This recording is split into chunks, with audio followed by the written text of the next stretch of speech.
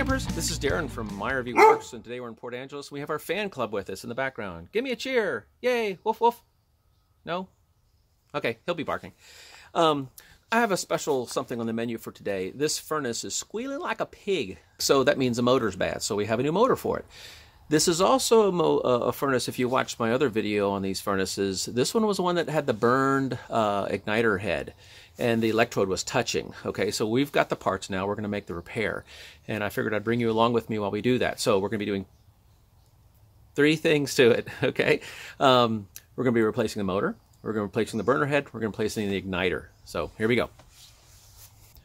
Okay, so one thing I like to do when I'm working on a furnace is, let me show you what these things look like before I put them on. Um, I've got these little tap connectors, okay? So you see these things right here? You just kind of wrap it around a wire and squeeze it, and it's going to uh, attach onto these wires here. Now, why did I pick these two wires? Okay. Um, there are four wires that come from the coach to feed this furnace. Okay, we got a positive, a negative, and then two additional wires. Now these, let me switch around. Okay, so I'm going to make it these two wires. Which way do you like it? This way? Okay. These two wires, so here's plus, here's minus. Let's just forget those. You need to make sure there's at least 12 volts there. So these two wires, one is going to be positive, and the other one's going to come back from the thermostat or from the air conditioner or however your coach is wired. That's not what this video is going to cover. But all I need to do is touch these two wires together and it'll make my furnace start. So I know the furnace, the thermostat's good on the inside, but I want to own this furnace on the outside. Okay, I want to own it so I can start it and stop it at my at, at will without having to run in and out of the thermostat inside. So when I tap those two onto these two, two blue wires, and I try to catch them right as they go into the RV, okay? So I've verified that these two blue wires are coming from the connector that goes into the RV, and I'm coming here. One's going to be hot all the time. One's coming back. It'll go through the sail switch and all this kind of stuff. So what I keep in my tool bag is is this little wire here that's got these little connectors. And so I'm just going to connect right there and right there. Now I am a thermostat. The other end of my wire here, so this is just a tool I carry around in my tool bag, is this 10 foot wire. So when I touch these two together, the furnace is going to start. Ready? Don't make a liar out of me. I hear it clicking. Let me touch them together here. It wants to. Okay, you hear that? That motor. That's Okay, that's what I wanted to show you, is the motor shot on this thing. Squealing like a pig, in really bad shape. So what we're going to cover in this video is how to get to that motor, how to get that motor replaced, and how to put it all back together again. There's a few tricks of the trade I'll share with you as we go along. Now, another thing, if you've watched one of my other videos, there was a furnace issue um, where the burner head was rusted and had some cracks on it. Well, this is in fact that furnace. The parts have come in. When I finished that video, I just kind of made it work. Um, in a bind. Well, now the motor's burned out on this thing. So we've got three parts for this. We've got the new burner head, we've got a new electrode because the other one was rusted, and we've got a new motor.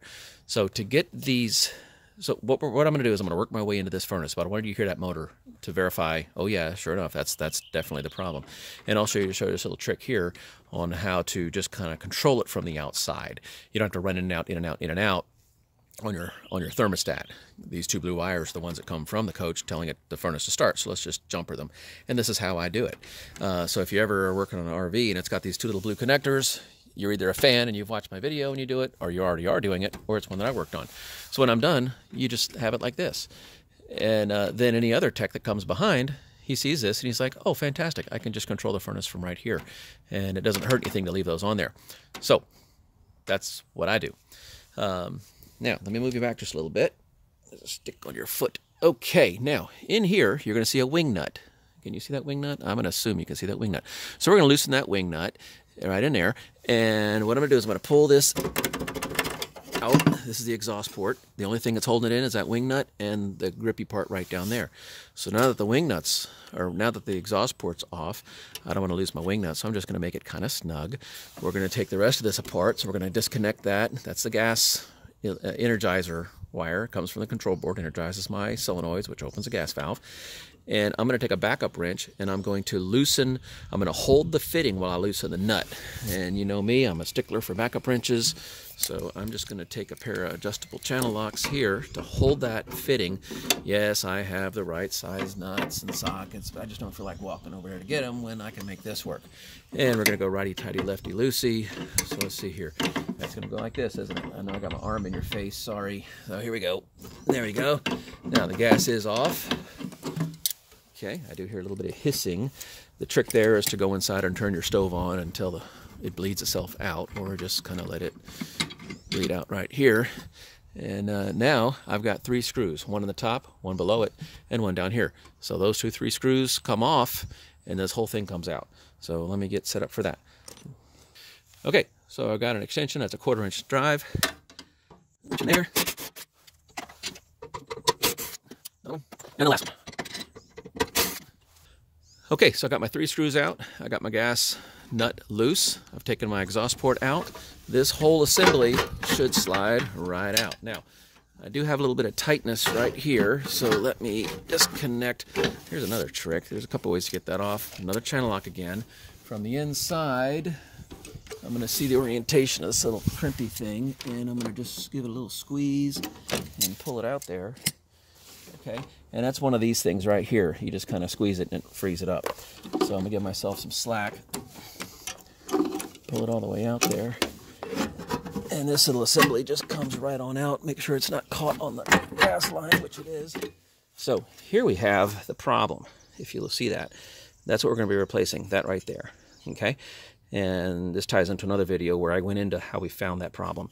And uh, we're also going to replace this electrode because there's some rust up in there. And if we're going to come this far, we might as well replace the electrode as well. So that's what we're going to do next. Okay, so that was really easy to replace these. Um, so this was the burner that we had taken off, okay? And it's really simple. It's just these two screws right on the end, okay? Really simple. And um, the part number for that, let me show you the part number for that burner head, is right here. There's a part number, 30268, okay? Uh, My RV Works is 2269. Yay, all right. Now the... Um, the electrode, I went ahead and replaced this electrode as well. Um, this one had a little bit of rust. Uh, let me get the thing to focus on us there. Focus on this. There we go. Focus on that. There we go. Uh, so that had a little bit of rust. That's that kind of concerned me. Also, there's some rust down here that, that kind of concerned me. So let me explain the relationship between this electrode and that gas valve.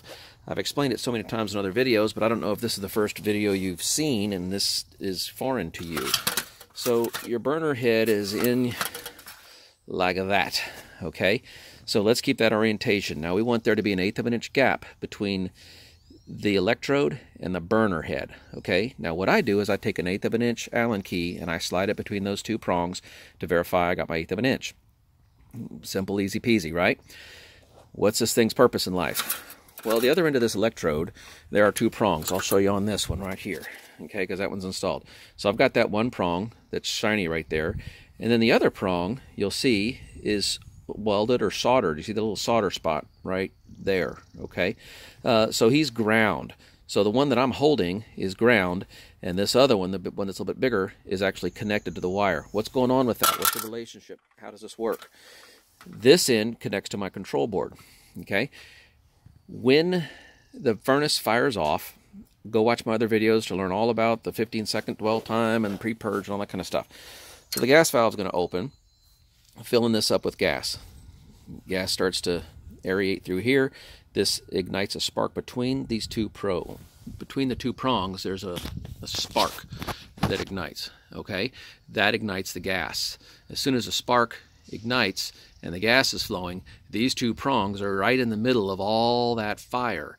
Okay, so the control board sends a small milliamp current through the wire from the control board down the wire that's got the ceramic housing on it, and through this gap right here, this eighth of an inch gap, he's going through the flame. The flame has carbon in it, um, so we're using the the carbon in the flame as my conductor to carry that milliamp current from one conductor to the other conductor, and then this one down here is grounded.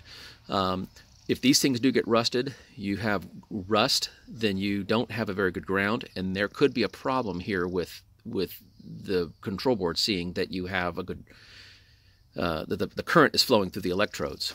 Okay, um, so the eighth of an inch gap is important. Too much, too little, it's it's not going to give the control board the correct uh, milliamp reading that it's looking for. Okay, um, so you want an eighth of an inch above the burner head and an eighth of an inch between the two prongs. Okay, and you want to make sure that one of them's got a really good ground and the other one has a nice, good insulated ceramic housing and no rust. And that's why I decided to replace this one because of all of this rust. If it'll focus not on the wheel, but on there. So I don't like all that rust on there. Okay, that could fail right where that silvery uh, rust uh, weld spot is, and then everything we've done is for nothing. So there you go. Um, next step, we're going to go in here, and I'll get a flashlight in here, but we're going to go in here, we're going to start taking this motor apart to get to that squealing pig. All right, stand by. Okay, now that we've got all of the burner rebuilt and everything, now we're going to start working our way into the motor. Okay, um, now really all we have to do is there's a, there's two screws on top and two screws on the bottom. So we're going to take those two screws out, pull this off, take this lower wheel off, and move the cover, and the whole thing's going to come out. So let me show you how easy that is. Uh, now the first thing I'm going to do is just as there was a wing nut on this side, there's going to be one on this side. So we're just going to loosen that wing nut a little bit, and this control board comes out. If it doesn't make me a liar. There we are. Okay, I think I got it.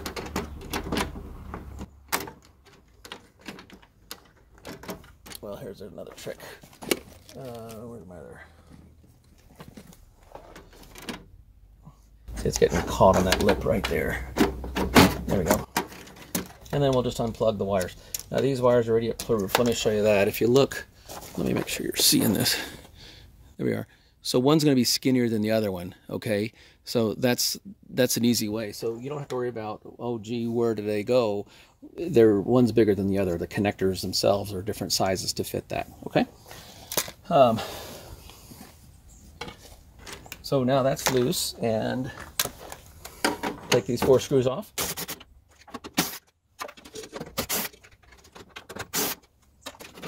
Okay. And then we're going to take this uh, wheel off. So let me get everything prepped for that and we'll take it to the next step. Okay, what I wanted to show you, I've, I've got a light in here. Um, this, uh, some of you are going to have an Allen key. Uh, what I'm looking at is this clip, this compression uh, clip. Some of you are going to have an Allen key right there. Some are going to have that clip. Be careful; those clips do break. Uh, they're brittle, and if they do, just you know, auto parts store. This slot right here is if you do have an Allen key, you'll take your your Allen tool and stick it in this slot and find the the vane that's available and reach in there. Now that shaft has a D a flat spot on it, okay? And so what we need to do is we need to take this side off. We don't need to this comes out. I've already taken my screws out. Okay, so there's the other blower wheel. Okay, we don't need to take this blower wheel off. We need to take that blower wheel off. Okay, so and then we're going to take that like hose clamp thing off.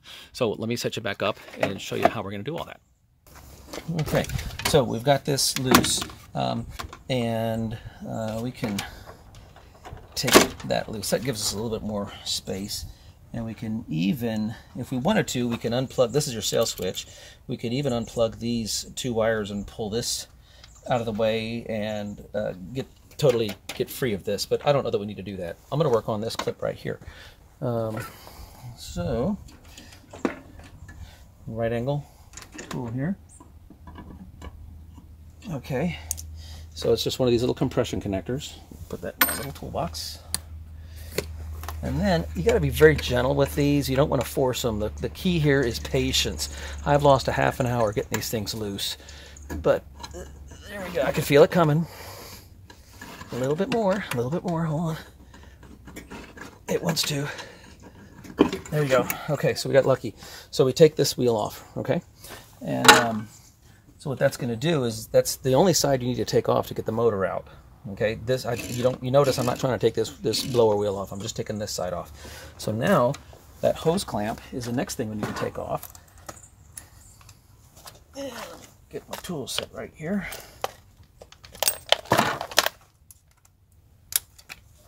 All right, and watch this trick.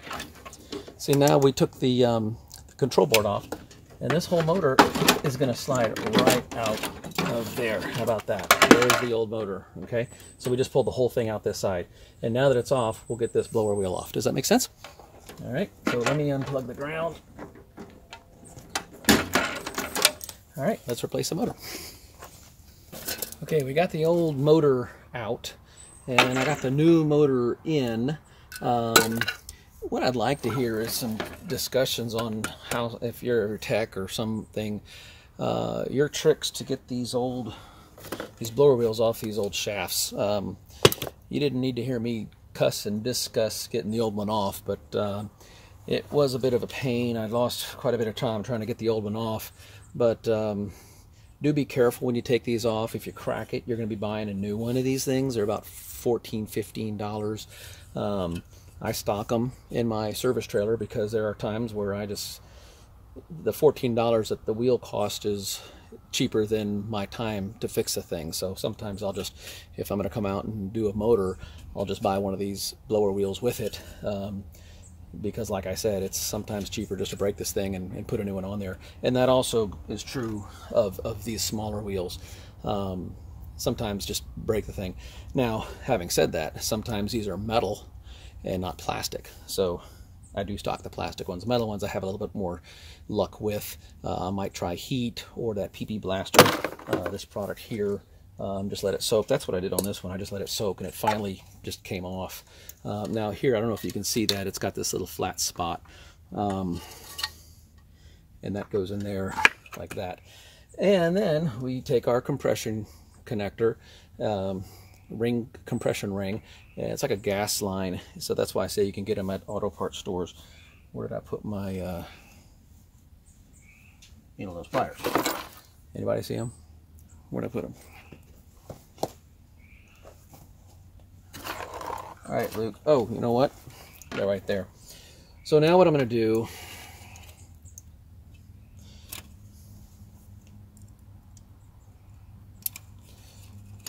Okay, so now it's a whole lot easier to get to everything and I can put my compression connector right on this way uh, and I don't have to fight it when it's inside the, um, the housing there.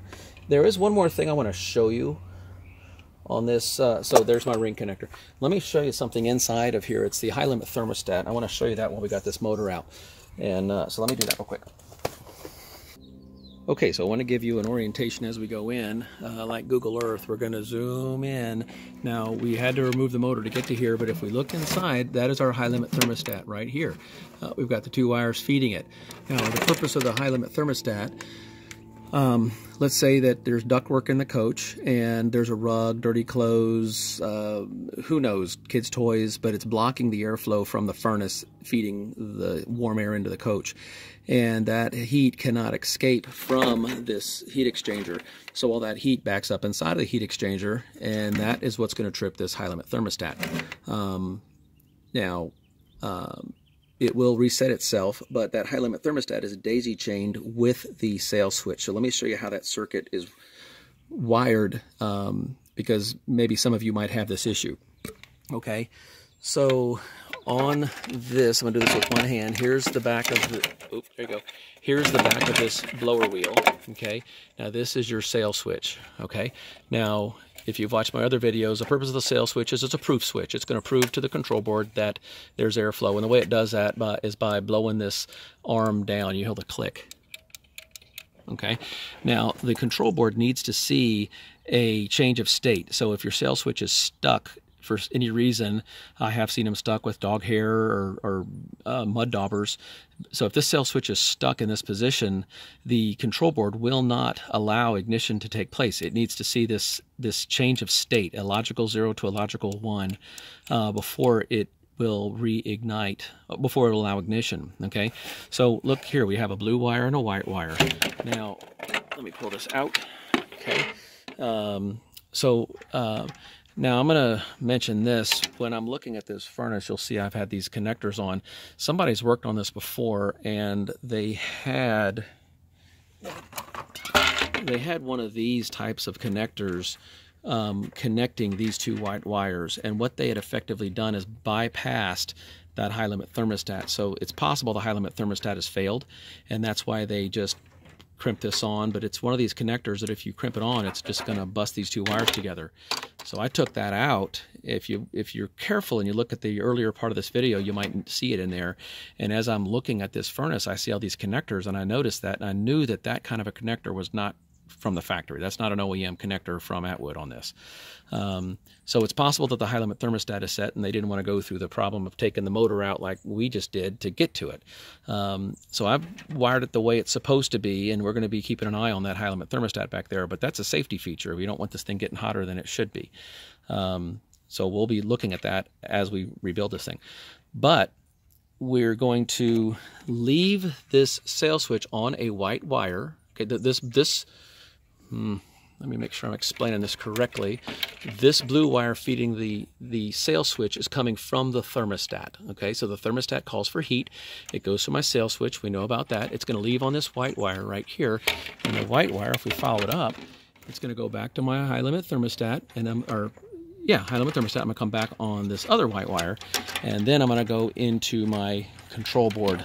Here's my wiring harness that feeds, there it is that feeds my control board, this white wire right here.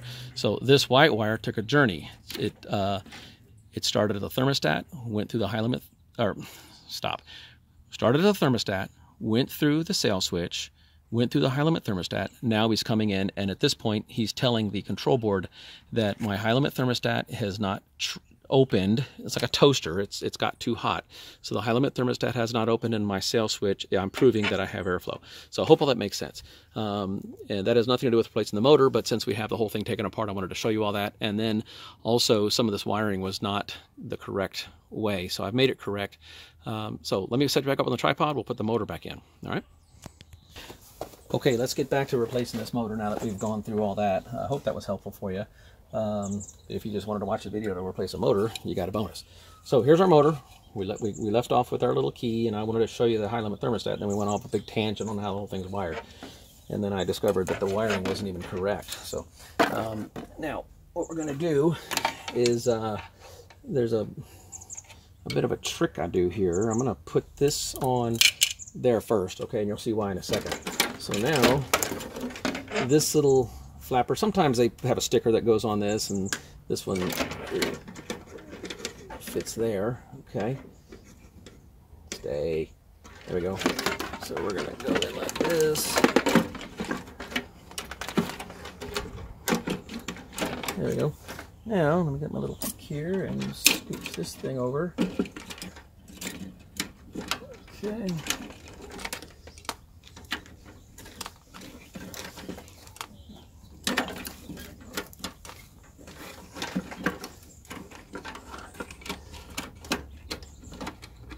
It had to fight with it, but it's easier to have fought with it than to open up this thing and snake it around behind the backside.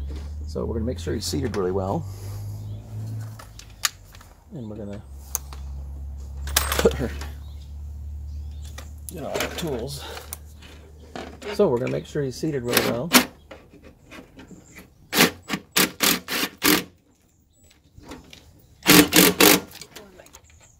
Okay, so we've got our motor in, and what we're going to do is put 12 volts on it to make sure that it's going to work um, before we get too much farther down the trail, because if it doesn't work, I'd like to know that now. So I just put 12 volts right here, and the motor is going to spin up. Okay, so with my, my 10-foot cable, I've, I've alligator clipped on to the leads to go to the motor, and I've got my 12-volt battery pack that goes on my tools, and let's see, we're going to find plus and minus. This side's minus, here's plus. Let me make sure the wires are not touching, and let's see what happens. Sounds a lot better. Okay, so that's very reassuring. So now, let's start reassembling everything. Okay, the next thing I'm going to do is, is put this back in here with this clip. Um, you don't need to watch me do that, but that's the next thing, okay? Okay, so now we have the blower wheel on this side, we have the blower wheel on this side, we got our little tension clamps on there, and we've run it to make sure that everything works. So at this point, I'll put this cover back on, put this back in, slide it all together, and do a run. So here we go.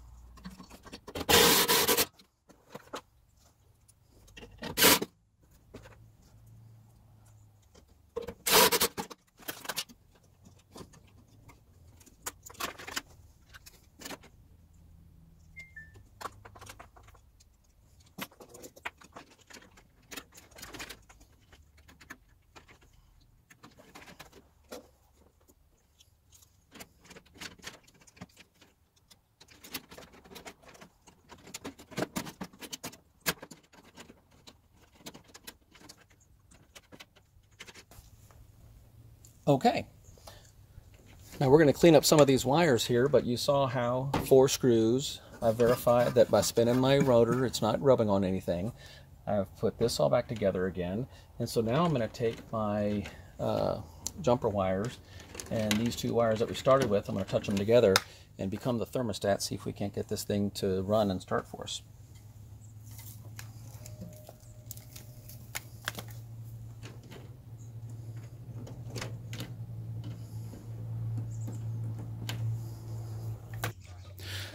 Okay, so now we got our wires in here. Uh, we've, we've got everything back together. I even went ahead and put this back in and tightened it up. And uh, so now we're going to do our tests. We're going to connect these together. Um, again, I'm the thermostat. It's doing its 15 second or so pre-purge. And uh, we have a little green light down here. I don't know if you can see that green light. Yeah, you can see that green light. and uh, we're going to watch to see what that's going to do. When he tries to ignite, he's going to flicker red for us. Didn't flicker red, but we definitely have heat coming out. So now we've got a working furnace. Uh, it's very quiet now, so at the end of the day, we've replaced our motor and our igniter and our burner. Um, and uh, so yeah, let's button all this up now. Yay! So I'm going to break this, taking away the thermostat. The next step is to go inside and test it on the real thermostat and uh, make sure everything's going to work. And I'll put some tie wraps and make this all pretty. Okay, well, there we go. I hope that was useful for you. We went through a lot of things. I covered a lot of different topics, but uh, the takeaway was how to pull this motor out. I've seen a lot of people, when they want to replace their motor, they, re- they pull the whole furnace out. And uh, the big key here is it's not necessary. So if this was helpful to you, thumb it up for us. That really does help us. And subscribe, share it with other folks. And uh, happy campers say my RV works. And I think we're going to have a, a, happy, warm camper here. So um, we'll see you on the next on the next service call. This is Darren from Port Angeles, Washington, signing off. See you next time.